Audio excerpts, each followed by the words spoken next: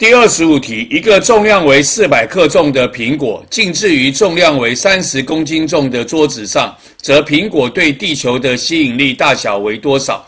一个苹果的重量如果为四百克重，就表示地球吸引它的力量大小为四百克重。那么，苹果会吸引地球，地球会吸引苹果，两个互为作用力跟反作用力，所以。那大小相同，方向相反，所以如果地球吸引苹果力量是四百克重，那么苹果吸引地球力量也是四百克重。所以第二十五题问我们说，则苹果对地球吸引力大小为多少？我们答案选的是 B，四百克重。